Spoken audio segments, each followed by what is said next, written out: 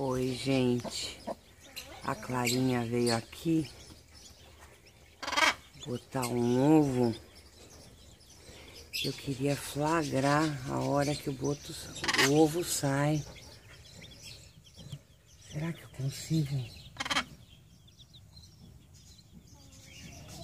Tá cloaca. Eu queria muito flagrar isso.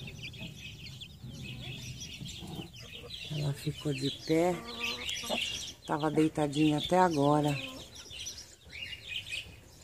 Será que dá pra ver? Aí, ó.